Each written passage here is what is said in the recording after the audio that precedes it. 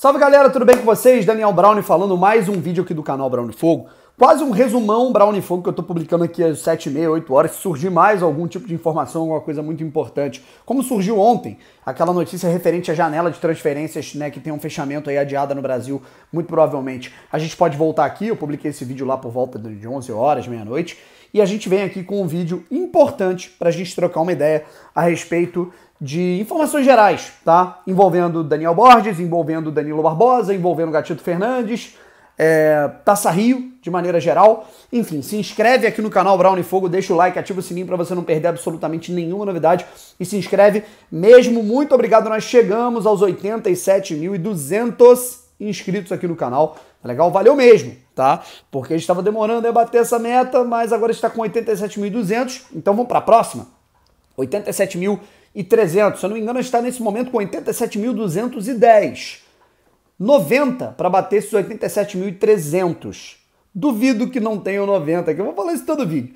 Duvido que não tenham 90 pessoas aqui de todas essas 5 mil, 6 mil que vão assistir a esse conteúdo, que não sejam inscritas, ou porque não sabiam, ou porque chegaram agora, ou porque não me conheciam, ou porque eram inscritas e o YouTube removeu a inscrição, porque vira e mexe o YouTube faz isso quando você fica muito tempo sem ver um canal, e naturalmente isso acontece porque muita gente fica puta com o Botafogo e aí volta a ver os canais só depois. Quem já fez isso? Eu tenho certeza que vocês já fizeram isso. Muita gente me encontra na rua e fala, pô, Brown, eu fiquei uns três meses sem, te, sem é, te assistir, porque Botafogo tava mal e depois eu voltei. Enfim, é isso. Se você ainda está aqui, você realmente é um cara que gosta muito de sofrer.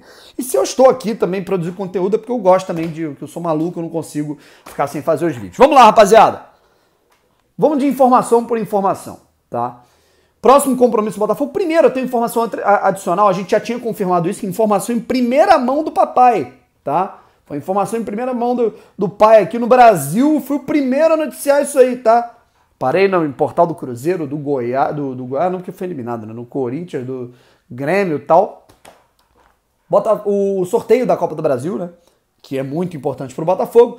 Acontece de fato no dia 27 de março. Ou seja, nós teremos no mesmo dia o sorteio da Copa Sul-Americana, o sorteio da Copa do Brasil ou seja, no mesmo dia a gente vai saber quem é o adversário do Botafogo na terceira fase da Copa do Brasil, quem é, quem serão os adversários, os três adversários, os três concorrentes do Botafogo na fase de grupos da, da Copa Sul-Americana. E nessa mesma segunda-feira, dia 27, daqui cinco dias, nós teremos Botafogo e Portuguesa, jogo de volta da semifinal da Taça Rio contra a Portuguesa. Tá legal? O Botafogo precisa passar esse jogo. Eu não, assim, obviamente é obrigação do Botafogo passar, mas pelo futebol que vem sendo desempenhado pelo Botafogo, não acho nem que, assim, é uma coisa tão certa, né? Até porque a portuguesa está tá sendo a pedra no sapato do Botafogo nos últimos dias, nos últimos meses, anos, na verdade, tá? Nos últimos anos, o Botafogo, é a portuguesa é uma pedra no sapato do Botafogo, né? E por via de informação, tá? Por viés informativo aqui, eu vou divulgar as datas da final da Taça Rio que já estão marcadas, sem o Botafogo ou não certo? Essa final pode ser Botafogo e Nova Iguaçu, Botafogo e Aldax, Português e Nova Iguaçu ou Português e Aldax, certo?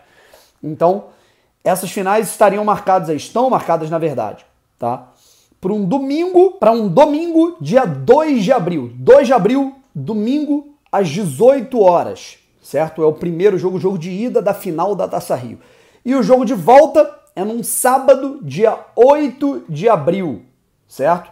Dia 8 de abril, um sábado às 16 horas. Finais que, inclusive, a gente não sabe nem se o Botafogo vai conseguir é, disputar, né? Porque precisa passar da portuguesa, muito importante. E um, uma outra informação que é muito importante, o um adendo, que é fundamental dizer, é que se o Botafogo for eliminado agora para a portuguesa na segunda-feira, tá? O Botafogo, para ir para a Copa do Brasil 2024, teria duas opções, três opções na verdade. Ganhar a Copa do Brasil desse ano, que é muito difícil, se classificar para a Copa Libertadores ou torcer para pelo menos dois dos outros três cariocas que disputam a Série A, Flamengo, Fluminense e Vasco, dois deles irem para a Copa Libertadores, que aí abrem mais duas vagas, e aí o sexto e o sétimo do Campeonato Carioca iriam para a Copa do Brasil. Beleza? Enfim. E agora eu te falo aqui um pouquinho sobre três jogadores. Primeiro de tudo, Daniel Borges. Vem perdendo espaço, já não parece estar mais nos planos da comissão técnica do departamento de futebol do Botafogo. É, acho que pesou muito, não só os, o último, é, os últimos dois anos, assim, em termos de. Na verdade, o último semestre, vai. Segundo turno do Daniel Borges no Campeonato Brasileiro foi bem fraco, é, defensivamente falando. A nocividade dele naquela última partida contra o Atlético Paranaense, em que o Botafogo perdeu a oportunidade de estar nesse momento na Copa Libertadores. É, e esse último clássico contra o Flamengo. Daniel Borges foi o artilheiro, foi, perdão, líder de assistências do Botafogo na temporada passada, com uma bola parada interessante. Ele é um cara que é, bate muito bem falta, bate muito bem escanteio, mas em outros atributos está numa rotação distante daquilo que o Botafogo precisa.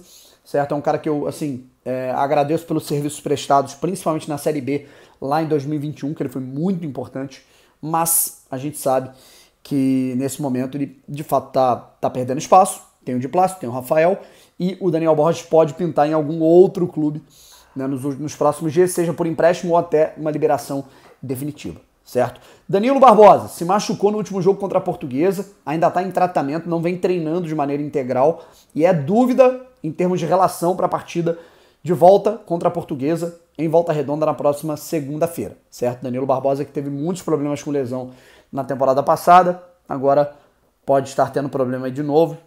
Esperamos aí nada de grave acontecendo com ele. É... E uma última informação que é muito importante de ser salientada aqui é a volta, tá?